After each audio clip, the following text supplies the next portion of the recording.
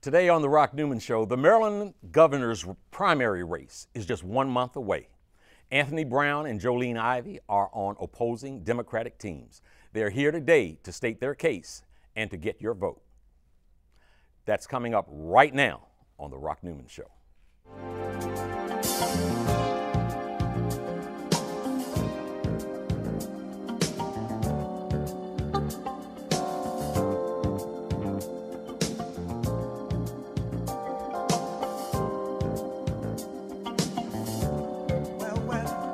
Welcome to the Rock Newman Show from the campus of historic Howard University, located in the nation's capital. I'm Rock Newman, and it is my desire to inspire you with personal stories of extraordinary achievement.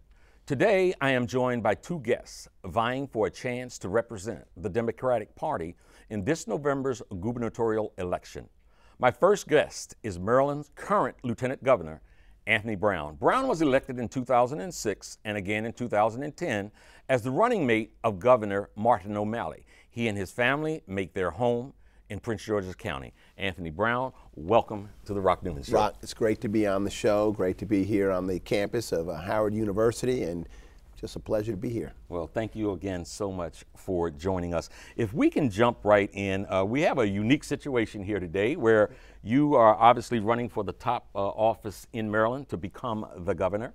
And uh, joining us uh, shortly uh, will be uh, the opposing team's lieutenant governor candidate, Jolene Ivey. She'll be here in the studio in, in, in just a moment. So this is an exciting day for yeah. us here at WHUT. let me jump in, please. In 2008, you um, endorsed Hillary Clinton mm -hmm. to become president. You chose to endorse her over Barack Obama, who was making a historic run mm-hmm. as the first African American to run for uh, to, to who had a real legitimate chance to become mm-hmm. president. That was seen as quite a controversial choice by many. Can you tell us why at that mm. time you chose uh, Hillary Clinton over Barack Obama, one, mm-hmm. and two, if you had any regrets about doing so? Sure.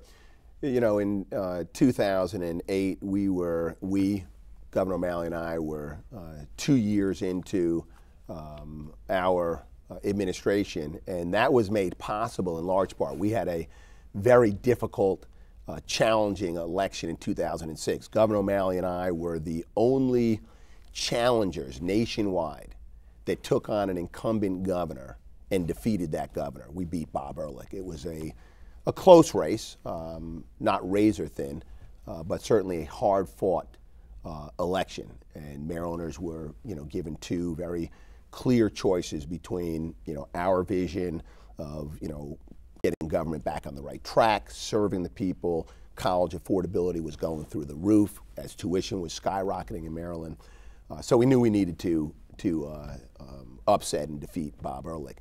Um, and uh, both President Bill Clinton and um, then Senator uh, Hillary Clinton had been very helpful on the campaign, um, helping us convey a message to voters, uh, helping us raise the resources. Um, and um, so we are very grateful. Uh, and as a sense of kind of loyalty, the governor first endorsed uh, um, Hillary Clinton, uh, and then a few months later I did. Okay. So really based on sort of the, uh, they, had, they had been very helpful in enabling us to to win an election, a very important election for Maryland. In fact, had we lost, I think Maryland would be, you know, in in a much different place today than it is today. Mm-hmm. You know, you look at the strength of Maryland's economy, you look at the strength of Maryland schools, you look at college affordability, uh, and in fact, um, in 2006, uh, while we were seeing downward trends in crime across the nation, um, in Maryland, we were not seeing the same downward trends, mm. certainly not enjoying it at the rate that other communities, other states were. So Maryland, um, had it stayed on that course with Bob Ehrlich, uh, would have been in really bad condition. Okay. So, so they, it was it was that it was that so it was based there, on so that. So there's a sense of uh, you, you call it loyalty. Yeah. Some would say political. Yeah, and then keep in mind keep political payback. Political. Well, I mean, you know, I, I mean, certainly there are ways that people character, characterize it, but keep in mind that um, that by September of 2008, mm-hmm. I was already chairing, co-chairing uh, President Obama's transition yeah. team. And that's something I want to ask you yeah. about. Um, have you now sought Obama's endorsement. You have Bill Clinton's endorsement. That was a big thing for your for your camp. Have you sought Obama's endorsement? No, and let me tell you why. Um, it's it's very uncommon. In fact, I don't know if it's ever happened that a a sitting president um, would endorse in a in a primary election. So I didn't. I don't think it's actually. I don't want to say appropriate, but didn't think it uh, necessarily the right thing to do to ask the president to do that in a in a primary election. Um, but yeah, so so I, I chaired the uh, the the uh, Obama uh, transition team for Veterans Affairs, um, which resulted in you know selecting General Shinseki, now Secretary Shinseki, putting into place the leadership team at at, uh, at the VA, helping to get sort of the policy direction on the right track. And President Obama has been extraordinary for veterans. The, one of the first bills he signed, I had the opportunity to attend that bill hearing, was um, a you know concurrent budgeting for the Department of Veterans Affairs. So I, I started the So trans- there was there was a whole lot of there, there was kiss and makeup. Now you guys are, you, you I mean, guys look, are just fine. I think. Look, I think. I think the. I think the president recognizes that. Um, you know, the the Democratic um, Party is blessed with with tremendous leadership and extraordinary talent, uh, and that the way that we are most effective on behalf of America, in his case, Maryland, in our case, is that we come together. Uh, and I tell you, primaries are the toughest thing, you know. And so, in the introduction, you were talking to about Jolene Ivey as my opponent. It's hard to hear that because Jolene and I have worked together on a number of issues. Uh, in her first year uh, in the General Assembly, we worked together on some foster care issues. So, primaries are always tough because you have you have friends, you have colleagues who've worked well together, are now sort of on different sides. But it's important that after these primary elections, we've got to come together uh, so that we can advance the, the this reliably progressive agenda. You know, I am this. I'm always fascinated with the with an issue that people aren't necessarily comfortable talking mm-hmm. about. That's the issue of race. Mm-hmm. And in the last 10 days here in the United States, race has been at the forefront. You got Cliven Bundy and all of his madness out in mm-hmm. Nevada. You got Donald, Donald Sterling and his madness in Los Angeles. On the flip side, you've got a popular magazine, People magazine, with a picture of a beautiful, dark skinned woman on the cover, which is somewhat rare, mm-hmm. frankly. So, to that end, as we talk about race and, and color, do you feel as if your color, the color of your skin, you being a lighter African American, helps you? Is there a political reality at all in your estimation that the color of your skin, although you're African American, makes you more palatable to the general population? You know, I think that uh, there continues to be a significance of, for, of race uh, in our country. Um, it plays out in politics, in the economy, um, in the classroom. Um, I'd like to see, think that there is a declining significance of race if you compare it to decades ago or centuries ago. Uh, yet it's still present, and the, as you mentioned, the, the, the episodes that we read about in the newspapers uh, and see on the TV today um, um, are an example of that. Um, I'd like to see that. I'd like to believe uh, that the significance of race as an impediment to progress, to working together, to uh, to an inclusive society. I'd like to believe that it is declining, yet it's still present, and we see that in in, in actions and words of others. Um, there's no doubt uh, that when voters uh, consider a candidate, uh, they're going to take in all the information that they get visually, that they get on paper, and they're going to make judgments based on their experience. So they're going to see an African American in me. They're going to learn in different ways that he's a veteran. So then they're going to have some some thoughts and assumptions about what that means. They're going to see that for some who may have their families have been in Maryland for generations, they'll say, "Well, he's a relative newcomer, 22 years in Maryland. He's been here for a while, but not generations like perhaps your family." Um, they'll look at the fact that I'm a an adoptive parent, and that may tell them something else about me. They'll look at the, my, my, my Ivy League education. Some may hold it against me. Some may say, wow, that's because they're all going to, assumptions will be made about. Those, those of you who went to Ivy League schools, I always apologize that you really didn't have the uh, all it took to get into Howard University. yes, indeed. The governor likes to uh, and uh, uh, to uh, to joke that uh, I went to Harvard. I couldn't get into College Park. That's our flagship in Maryland. I say, well, parents live vicariously. My daughter's now going to College Park. So, right. but they'll look at that. So some of these are intrinsic, mm-hmm. inherent qualities of, of who we are. Mm-hmm. Uh, and some of them are acquired, like the education, and they're going to make assumptions. So let me let me come back to, to stay with just for a moment the, the issue of race. race. Uh-huh. You mentioned earlier that uh, your opponent, Doug Gansler's mm-hmm. running mate, Jolene Ivey, You guys had worked together yeah. in, in, the legislature, uh, perhaps even in a, in a very friendly manner. Absolutely. You chose Ken Ulman. And in choosing him, what political calculus mm-hmm. regarding race, if any, was included in that decision? You could have you could have chosen Jolene Ivey. Yeah, I mean, look, there are a number of reasons why um, I chose Ken Ulman over whether it's Jolene Ivey or um, any of the other candidates that were on, you know, the list and the short list. I mean, Ken's an extraordinary um, um uh, leader. I mean, he has he has managed Howard County, which is a you know a number of successes. Maryland has some of the strongest schools in the nation. Howard County has the strongest in Maryland. Maryland has one of the strongest economies uh, in America. Howard County has the strongest local uh, economy. Ken has demonstrated the ability to manage, lead, and partner with whether it's educators, first responders, the, the, the, the, the private sector, you know, businesses, employers.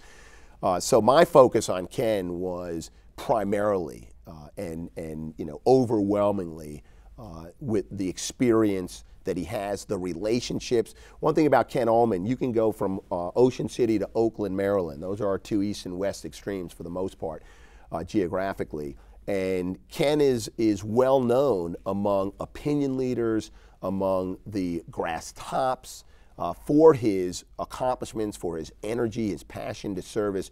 Uh, so if I had to quantify it, although I can't say that I was necessarily doing it at that time, if I had a scorecard and what was I looking at when I was considering Ken Ulman, I'd say it's that that reflected 90% of the weight that I gave to, to, to Ken. Um, and uh, and it's, it's that record of accomplishment, that managerial experience, and his relationships with, um, with, the, with, with folks that, you know, that need to be part of getting things done for Maryland.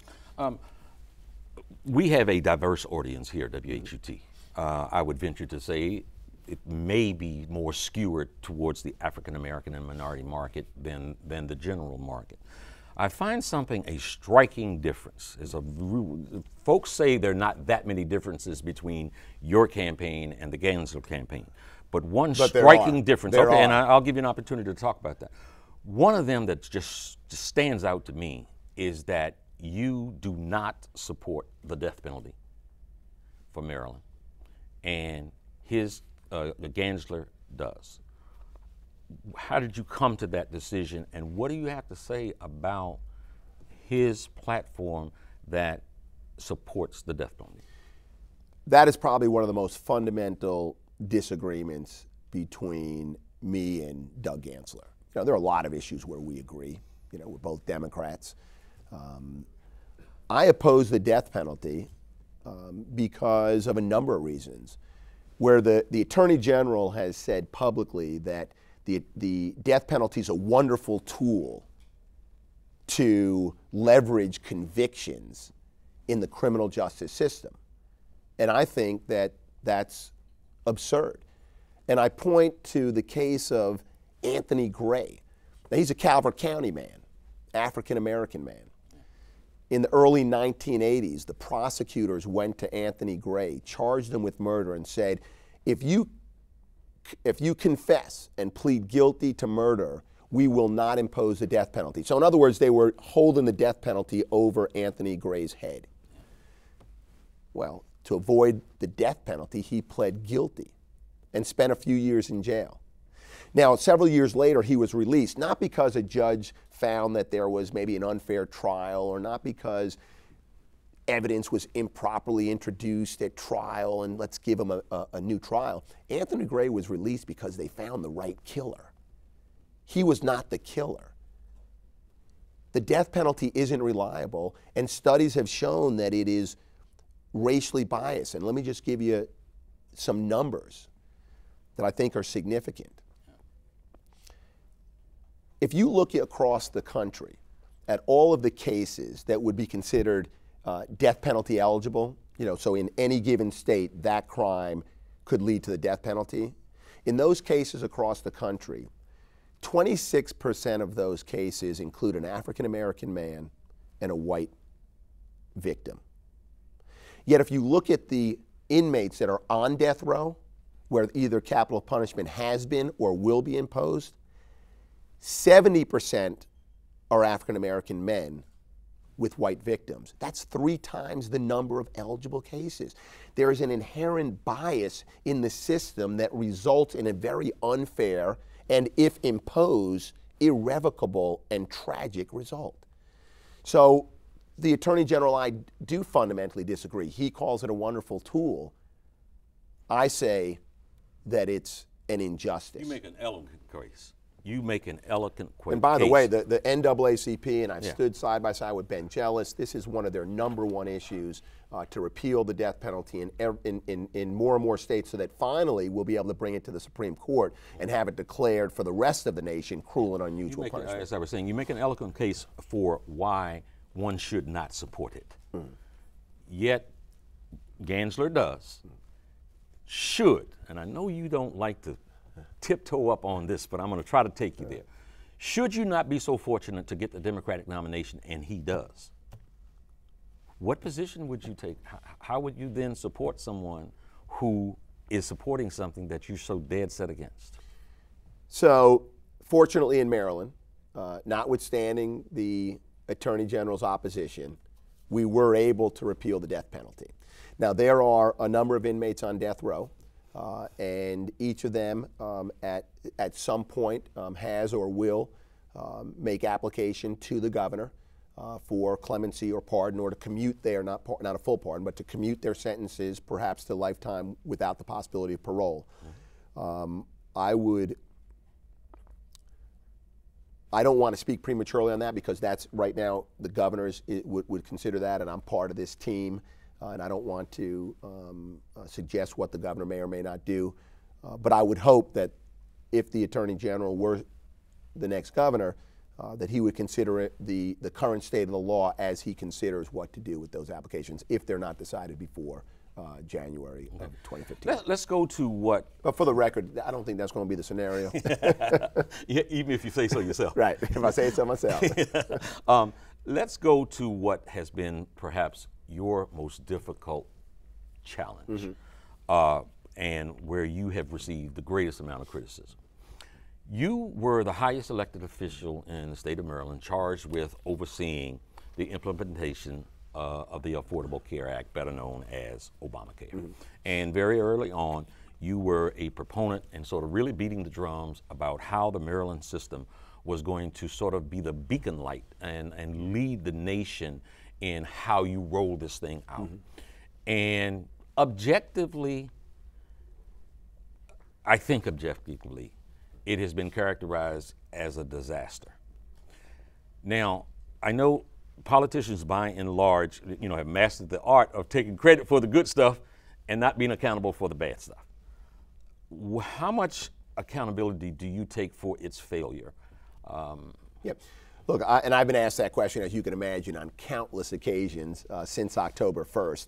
And, you know, everyone involved in establishing the exchange is responsibility responsible for its performance, and that includes me. And there's no doubt about that. Um, and that's why I took the steps that I did when we, just like President Obama, when he launched the federal website, a uh, lot of technical challenges, just like almost every state, except for perhaps Connecticut and Kentucky, every state launched significant technical problems. Uh, and believe me, I sincerely regret that any Marylander was inconvenienced by the performance problems with the website. And I don't think anyone was more frustrated than I was. And that's why uh, I did what I did, and which was to reorganize uh, the leadership at the exchange. The executive director was soon, you know, departed. I wanted to ask you. I, have got a kind of a note here on October 26th. Uh, if I'm saying this gentleman's name right, uh, Pradeep Goel. Do you remember that name at all? He wrote a uh, he wrote a letter to the people who were overseeing it. I guess that you were overseeing McGraw and Noridian, and he asked the questions: Are you people on crack cocaine? Did you like what's the Anthony Brown style? Did you kick and scream during that process at all? Because a whole lot of Marylanders were really inconvenienced and negatively impacted. Look, so, some people some people characterize me as cautious. Uh, you don't see me publicly sort of flying off the ha- handle, sh- exhibiting a lot of outrage.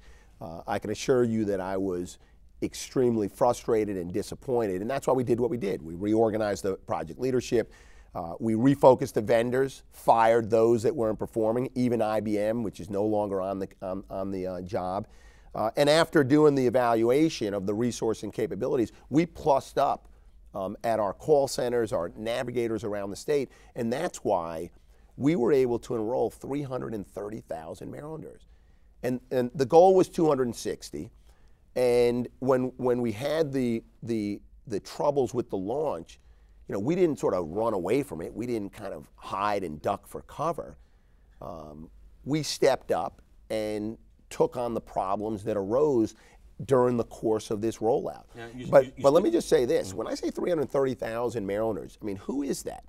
You know, I just spent three months in the legislative session fighting to increase the minimum wage in Maryland, 7.25 an hour to 10.10 an hour. The profile of the minimum wage worker is a 33 year old single mother.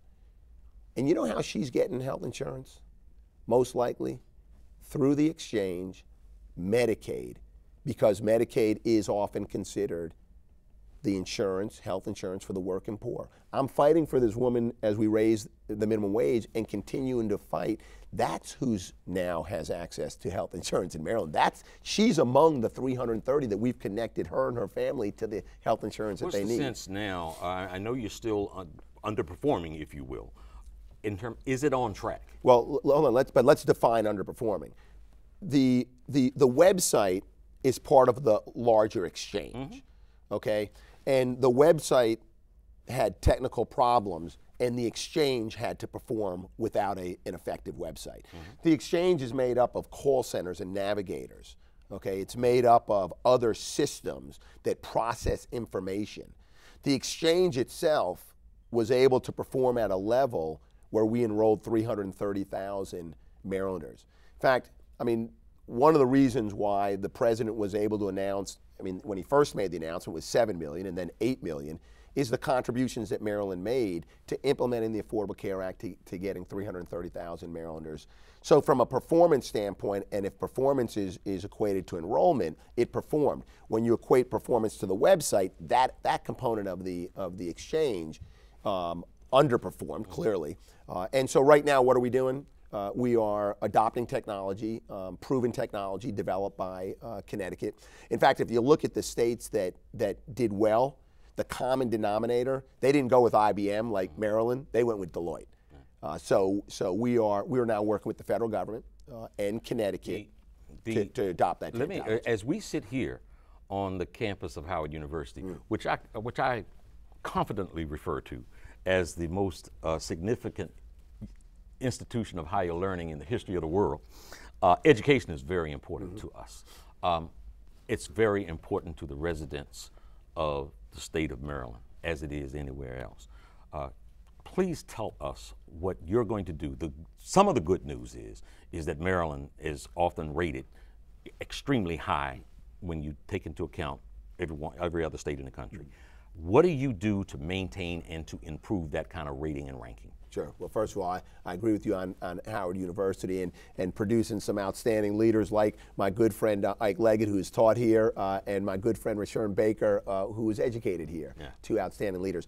Look, education is the, uh, the ladder of opportunity. It, it, has been for generations and will continue to be, um, you know, for as long as I can imagine. My, my father came to this country out of poverty. He beat the odds, came out of Kingston, Jamaica, where he was raised by his grandmother, first in our family to get a college education. Um, my agenda, and I've rolled out 15 policy proposals during the course of this campaign, I think five of them, a full one out of every three, one third, deal with education. I've got a plan to expand uh, universal pre-K to all uh, Maryland uh, four-year-olds by 2018. And in fact, this is another area where the Attorney General and I fundamentally disagree. And I think that is very important. Tell me why you put that emphasis on that uh, that pre. Uh, if the, you talk. I, I, mean, there are a lot of reasons, but I'll give you one um, example. If you talk to a college professor, you put a room uh, together of 10 college professors, and you ask them, name five things that we could do to improve college completion, you would think that they would name five things that are happening on their campus nine, if not all 10 of them will say expand pre K education. Because when a child starts kindergarten ready to learn, their likelihood of success through their entire educational experience goes up multifold. Studies have shown that. And and, and a child that starts kindergarten with an 8,000 word vocabulary versus a 3,000 word vocabulary, mm-hmm. Complete different outcomes by the time they get to 12th grade. And the way you close that is pre K education. I'm going to give you an opportunity here. Um, the, the opposing team is going to sit in that chair yeah. in just a few moments when you're gone. And I'm sure they'll have some things to say about why you shouldn't become the next governor. I want to close this out. Sure. We got about a minute and a mm-hmm. half or so with you telling the folks, our viewers, why you should be the governor. Sure. I want to look into the camera if I may. Where is Do that camera? Right here? Good. Look, Maryland's a great state. Um, and over the last uh, seven years, we made a lot of progress. We built the best in the nation public schools, but not every school is a blue ribbon school. And that's why I've got a proposal at anthonybrown.com five proposals to reduce the achievement gap, expand pre K, more career technology education in our classrooms, and college affordability. But we're making progress. Uh, we have uh, reduced crime to levels we haven't seen in three decades. At the same time that we've driven down violent crime, we've reduced the inmate population, and recidivism has gone from closer to 50% to closer to 40%. But I've got a plan to even drive down recidivism further as we make our neighborhoods safer. We have one of the strongest economies in the nation. Our unemployment rate is a full percentage point below the national average, but there are Marylanders who are unemployed and underemployed. And that's why on Monday, I'm rolling out a jobs plan, how we grow economy, create jobs, so that every Marylander has an opportunity to participate in the greatness that is Maryland, and also every Marylander has an opportunity to benefit from the greatness that is Maryland. So I'm running for Maryland's governor because Ken Ulman and I believe that it's a great state, but it can be better and it has to be better for more Marylanders. You're rolling it out on Monday. Jobs are very important. Tell us uh, what's what's number one on the list as to how you're going to create. oh, it's jobs. hard. Number one because we got Quick. five pieces, but number one, investments in infrastructure, including energy, but you've got to couple that with workforce training. But infrastructure investments, whether it's roads and rails, that's what puts people to work. It's what supports growing economies and expanding communities. So whether you're talking about investments in the Port of Baltimore or building the $2.3 billion Purple Line, it, it, improves the quality of life. It puts people to work. It supports growing economies and expanding communities. Thank you for joining Bye. us. Thank Folks, coming up next on the Rock Newman Show here at WHUT is this man's one of his opponents, Jolene Ivey, Next. The station reflects our community in all of its diversity. Uh, in its programming for news and art and culture I celebrate this marvelous local resource, Howard University Television. This is Congresswoman Eleanor Holmes Norton. I support WHUT because WHUT supports our community. Become a WHUT member today and let us say thank you. With a generous gift of $50, you'll receive a WHUT color change digital alarm clock with a $70 gift, you'll receive a WHUT water filtration sport bottle. With a $100 gift, you'll receive a WHUT e reader holder and membership card granting you benefits like two for one meals in the local DC area. With a $130 gift, you'll receive a WHUT blanket, matrix cooler, and a WHUT membership card. And with a $190 gift, you'll receive all of the above. Call us today to find out what you'll receive with your generous gift. Join thousands of your neighbors in saying that public television makes a difference in your life. Become a member of WHUT, Howard University Television, today. Please call 1 866 900 WHUT right now. And there's a rumor circulating that is scandalous. Oh no. What's that? and I need to clear it up. Okay. I think I know the answer. Didn't sleep until with the I- president. Well, here what I'm going to ask you. Okay, I- all right. I- how old were you when you first had your first real kiss? Oh my God. I don't know. Uh, okay, let me be like I'm in a hearing on Capitol Hill. Mm-hmm. I can't recall. Welcome back to the Rock Newman Show. Maryland's primary elections are held this year on June 24th. Jolene Ivey is a candidate for lieutenant governor as the running mate of Doug Gansler. They hope to beat out Anthony Brown and Ken Ulman to win the Democratic Party nomination. Jolene Ivey, welcome to the Rock Newman Show. Thank you, Rock. It's great to see you. Thank you so much for being here. Look, you know, let me, I'm going to just serve up a softball. okay. I like those. Anthony Brown mm-hmm. just made an impressive presentation to become the next governor. Only if you don't know the facts. Okay, well, talk to me about the facts. Tell me the real deal. Man, where do I begin? You, you'll have to start me off. You got a lot of criticism. You got a lot of criticism. Well, I mean, I, I just can't believe that he could sit here and act like things went relatively well and that it was an inconvenience for people who were unable to sign up for health care. Well, get- tell It us- make us understand why And that was a disaster. You can't, well, number one, the signs were there early on. The problems that they had rolling out the, the website didn't start on October 1st. They were evident for a couple of years. And to have kept your head in the sand all that time and then October the 1st wake up and say, oh my God, we have a crisis, that's pretty poor leadership, I don't you think? I want to ask you a question. There are some that maintain that Lieutenant Governor uh, Brown's failure to recognize the horrific problems that existed with that rollout Mm-hmm. early on, Right? in terms of management, should disqualify him from being the next governor. Absolutely. There's just no question about it. It would be different if something catastrophic had occurred that day that no one could see coming, but the problems were evident for quite a while, as was written about in the Washington Post quite extensively. So the fact that he can suddenly say, oh my God, we have a problem, and oh, but everybody shares the blame, no, that's not what Barack Obama did. When he had problems, he was like, wait a minute, I am so sorry, we're going to fix it. And he rolled up his sleeves and he did it. And as you can see, the federal website is working quite well now. Um, it, we just can't compare it. I know that Anthony Brown would very much like to line himself up with Barack Obama today, but where was he when Obama was running the first time for president? He was supporting Hillary Clinton. And nothing against Hillary, I'm all for her now. But back then, I was certainly supporting our current president. And not only that, Doug Gansler was co chair of a statewide campaign. The first elected official in Maryland to support Barack Obama was Doug Gansler. So I don't know how Anthony Brown could turn his back on our president when they went to law school together. I mean, really? Really, you think at Harvard Law School they didn't know each other? How many black people do you think were in Harvard Law School at that time? So for him to have turned his back You know- on his classmate, We we, And we, we have a, we have a TV show here. I'm not so sure I shouldn't have put some boxing gloves on you when you, when, when, when you sat down. I'm not known for biting my tongue. Let me ask you a question because we have a photo, Okay. and to me it is a fascinating photo. There is a gentleman. You can see it. It's on the screen.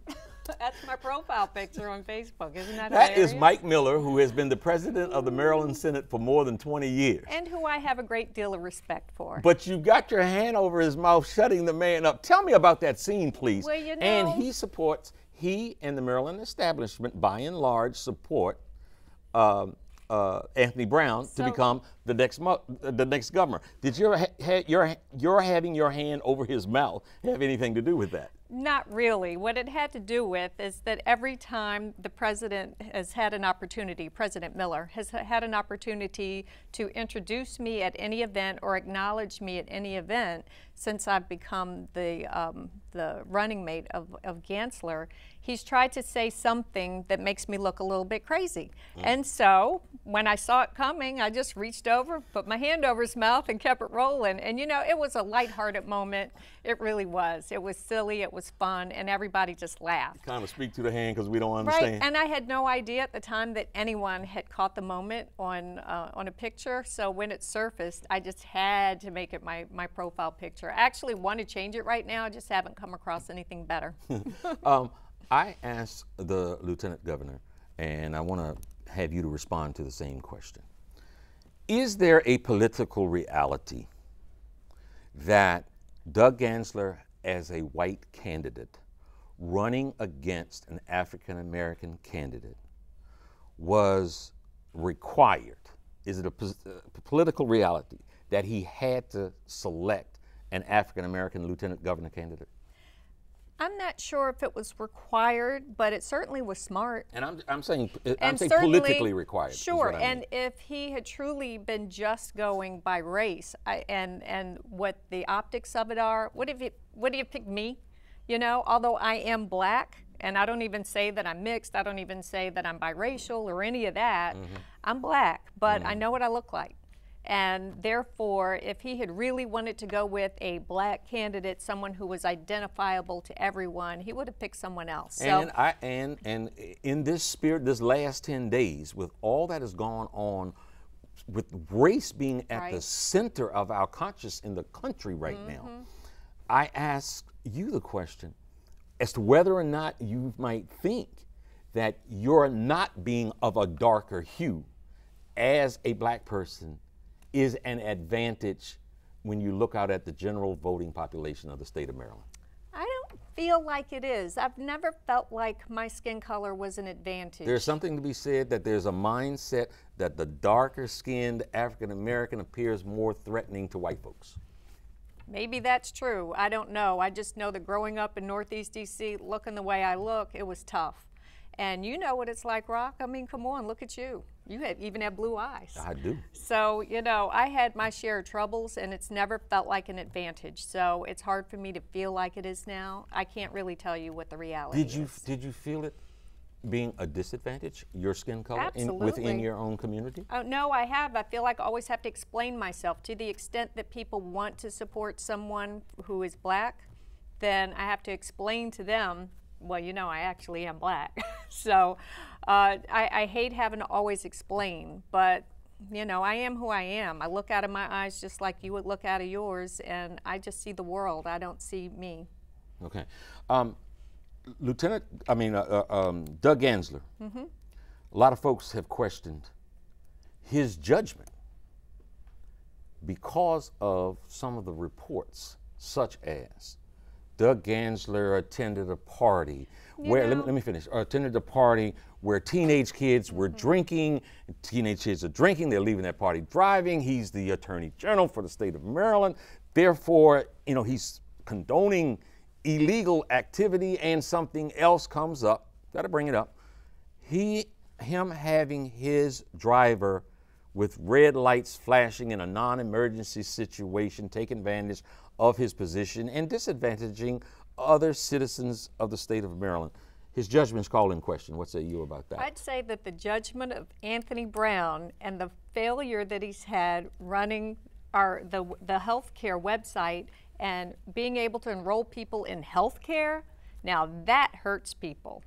If you think that Doug Gansler should have not gone by a party to check on his son, well, we can all disagree on that one way or the other, but who did it hurt? There were other adults at that party taking care of things. Doug Gansler was trying to do the best he could as a parent, and as a parent of five boys myself, every day I have to question, am I doing the right thing?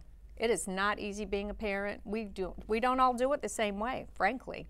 And um, you might disagree on his parenting, but there is nothing that Doug has been criticized for uh, in this campaign that has anything to do with public policy or his successes, truly, as Attorney General or State's Attorney or Assistant U.S. Attorney under Eric Holder.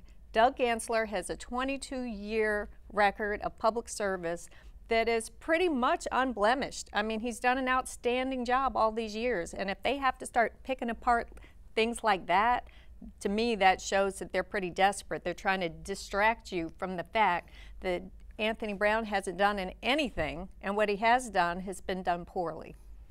Your um, your ticket, the Gansler Ivey ticket. You mm-hmm. guys are you guys are out and you're fighting. We're, you're we're fighting hard. And rolling. You're, you're you're you're behind in the polls. Not by much. Um, how are you going to make up that ground? I believe that at this moment, as people start to focus on the campaign, most people don't even know, frankly, that an election's coming up. So that's number one. As people start to focus, they're looking at the candidates, and as they're paying attention, they want someone who's who has a record of success. I tell people if you're going to interview someone for a job, and that's what this is. This campaign is a job interview. The people of Maryland are interviewing us to find out who's going to be the best person to hire to be governor. So when you're hiring someone and you ask them questions, you ask, "What have you done in the past? Please tell me what your successes are."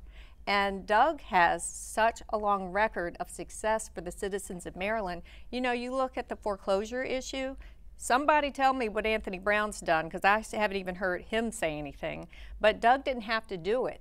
As the head of the attorneys general of the United States, he brought, back, brought together the biggest banks to have a settlement so he could get money from them to help with the foreclosure issue. So right here in Maryland, we got 1.5 billion with a B dollars to help with the foreclosure issue. I know it doesn't solve the foreclosure issue. I'm not going to pretend that it's all over because Doug Gansler got involved, but he didn't have to do anything on that issue and he took real action. He went to the meetings, he oversaw it, and he brought it to a successful end. Okay. Uh, what did Anthony Brown do? You tell me, and we'll both know. Let me ask you you um, make a case for Doug. Mm-hmm.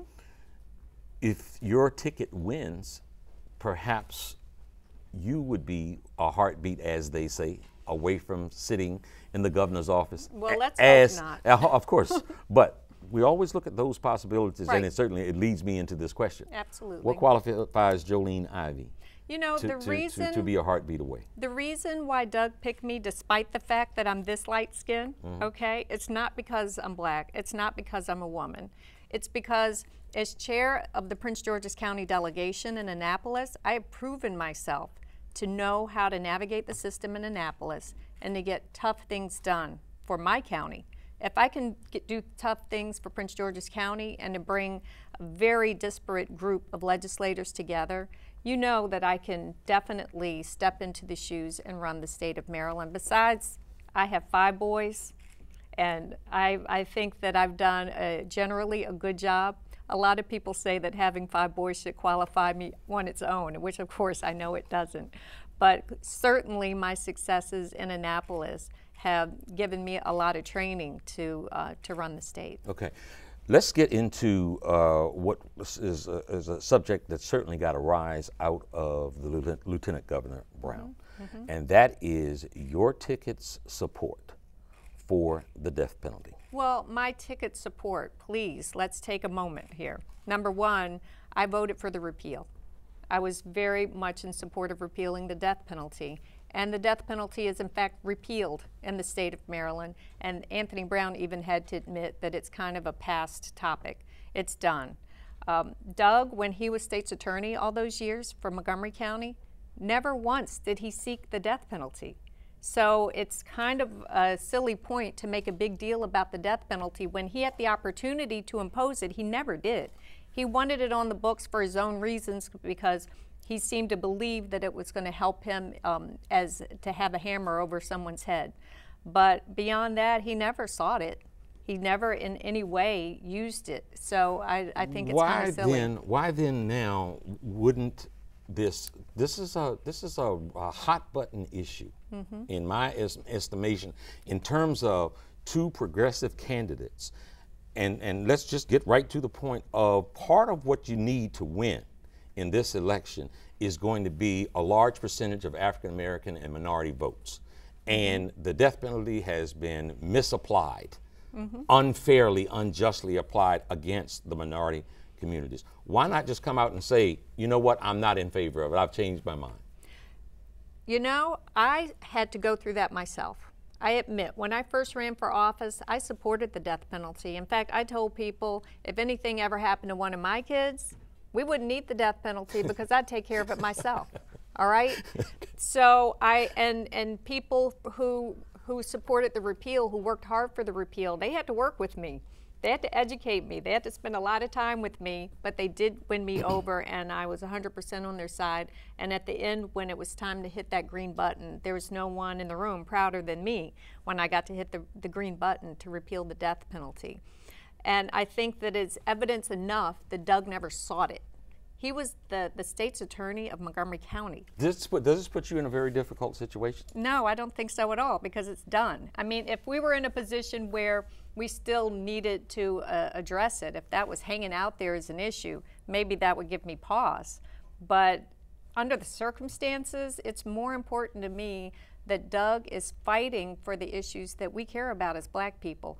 When I look at the education issue, when I look at the achievement gap, I get so tired of hearing that Maryland's number one in education. Please spare me. I mean, number one, the the numbers that they use, it turns out they weren't even using the tests of all the kids who they should have used. Number two, we're number one. Why? Because we're number one in how we fund education, not for the outcomes. And please me, explain. Please explain that because uh, Education Weekly. O'Malley, O'Malley, and Brown proudly proclaim, and and I had Mike do. Miller on my show uh, a few months back, Right. And Mike Miller just beat the drum of Maryland being number one in education.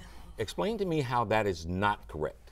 My children go to Prince George's County Public Schools, Rock. I know that we're not number one in education. Until the schools that all the children in Prince George's go to, the kids in, in Baltimore City go to, until every child has an opportunity to have a great education, we're not number one. And it makes me sick to hear it. We're number two in the achievement gap. You know, is that okay? Uh, it, to me, until you're willing to admit you have a problem, then you're never going to look for the solution. You're too busy breaking your arm to pat yourself on the back. But I, to me, the achievement gap is a serious issue. And you know, let me tell you what Doug and I want to do to fix it. Let me ask you a question before Okay. you t- talk. Tell me about your fix. Sure. Diplomatic politicians never like to use the word that their opponent is lying. They, they, they, they say it in a number of different ways. Mm-hmm. You're maintaining that Maryland, that, that the Anthony Brown ticket should not proclaim and claim that Maryland is number one in education. Are Well- they lying? Well, I can tell you that Education Weekly no longer lists us as number one, okay? And it came out not too long ago, just a couple of months ago, that the numbers were skewed because we weren't counting all the students that we're supposed to count, the special ed kids. Um, that were their scores just they weren't all being counted so the numbers that would have brought us down i think we're in reality like seventh or eighth which is nothing to sneeze at but as long as we have the number two achievement gap to me, it's a travesty, and that's what we need to acknowledge and work on, and that's what Doug Gansler and I are going to do. Talk to me a little bit about you guys' uh, financial uh, plan platform. Uh, there is a difference between your campaign and the Brown campaign. You, uh, if I understand it correctly, uh, you guys are looking for a tax decrease. And the Brown camp is saying they want to maintain the caps where they are. Well, the main thing that we want to do is make our, our state more business friendly. You know, there have been 7,000 small businesses that have closed over the last eight years. And I know some of it is from the recession, I'll acknowledge that. But a lot, a lot of it is because of the business climate here in Maryland, and that's what we need to address. When we increase the corporate tax here in Maryland, the shocking thing is we, we ended up bringing back $30 million less in corporate income tax this last year. And it's not because um, anything else other than businesses leaving the state. If you can go across the water over to Virginia and pay, you know, more than 2% less, wouldn't you do it if you had a business that was easy to move? So that's the problem that we're up against. At, at the time that Maryland has a billion dollar deficit, Virginia has a, a, billion dollar surplus. And so we need to do more to bring businesses back here, bring the jobs back here. At the same time, though, please keep in mind that we're also um, going to do combined reporting. So what that is, is a situation where you take the uh, corporations that are doing business here in Maryland, a lot of them right now don't pay any Maryland tax at all. They can just claim their taxes someplace else and pay it someplace else that has a lower rate. But with combined reporting, anything you make here in the state of Maryland, that's what you pay taxes on. That would actually pay for the first step decrease of the, uh, the tax cut that we want to have for corporations. Okay. You in know fact, what? more if, than if pay for I, it. I'd like to ask the people in the control room if they can put that picture back up once again with you and Mike Miller. It's a fun picture, isn't it? because here's why I want, the reason why I want to come back to that is this man has been the president of the Maryland Senate for more than 30 years. He is out stumping for the Brown Ulman ticket. Should you and Gansler become victorious, this man holds an incredible amount of power in Annapolis. How what will be your methods? What will be the mechanisms that you will try to use to get through your policies and positions when he is so absolutely supporting your opponent? Mike Miller is a very smart man, and he's been in office for a long time for a reason. He's an excellent politician, and he knows how to get a- along with people when he needs to. So, in fact, I've always gotten along with him.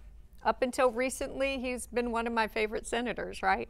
But he's he's a smart man and he's very practical and he definitely knows how to move on. So I have absolutely no concerns about working with Mike Miller. He's he's a good man. Jolene, you said something early in the conversation that uh, that fascinated me, um, and I, it's, it's something I'd like to talk a little bit more about.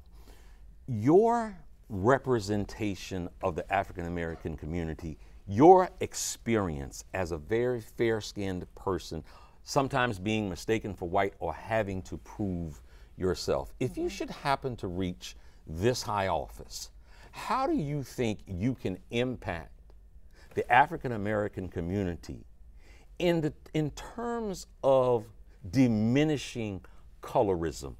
Because that still exists light skinned folks, dark skinned folks. How do you think, what impact do you think that you can have from getting to this kind of a position? It's an interesting question. You know, I think that the way I have just always lived my life, not thinking that anybody's skin color should have anything to do with our view of that person. Not their hair texture, not their skin color, nothing. It really shouldn't make any difference. And by living my life that way, I think that it's helped my children. You know, I know that they are not viewing the world that way. And, and really, the young people today generally are coming along. So I don't know that there's anything Jolene Ivey can specifically do to change colorism.